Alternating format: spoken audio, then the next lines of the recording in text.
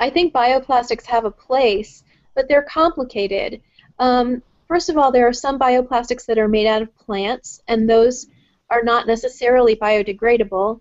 And there are also um, plastics made from fossil sources like oil and natural gas that might be biodegradable. Um, and there are some that just have some kind of mystery additive put in them that supposedly causes them to break down, but they probably just break down into smaller and smaller pieces. So all the different types of, quote, bioplastics are very complicated, which is why I explain the different kinds in my book. Um, but I agree with you, Daniella, when you're talking about single-use disposable items, even if these things are biodegradable, they still are requiring huge amounts of materials and energy to produce just for a single use.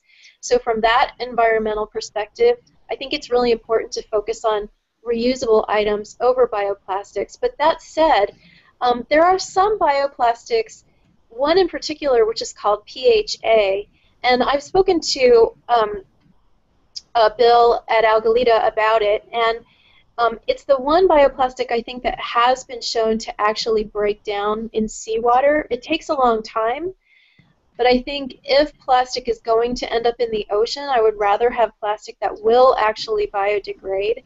So th this is a conversation that I have with people a lot, which is how do we promote reuse and promote reducing our consumption while at the same time supporting efforts to create bioplastics from plants that will biodegrade and recycling um, systems for the plastics that we do end up with without just encouraging more consumption. I think it's kind of tricky, and I would like to hear other people's ideas about that.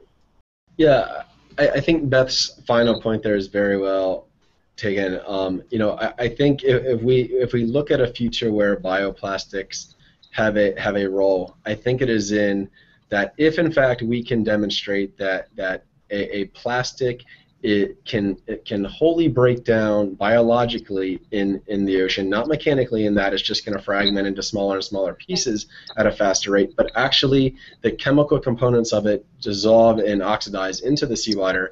Um, I, I still think at that point the bioplastics have a role as a, as a safe measure. So if all other mitigation efforts fail and plastics do end up in the ocean, then they, they will expedite the, the, threat at which they, they pose to marine life will, will quickly uh, dissipate into the ocean. Um, with that said, there are major barriers ahead. Um, you know, one thing that, that stands in the way is there actually is no current standard that says what makes something biodegradable or, or a bio or um, a bioplastic. So, you know, one person's labeling of a bioplastic may mean something very different, and there's there's no process that demonstrates um, you know, an ocean plastic, something that is truly degradable in the ocean. So, you know, from from a technical standpoint, I think there are barriers that lie ahead. From a sustainability standpoint, you know, bioplastics take up extraordinary amounts of energy for their production. Um, you know, there are externalities associated with them, just like traditional petroleum-based plastics, and there still is oil and other non-renewable resources required to produce those.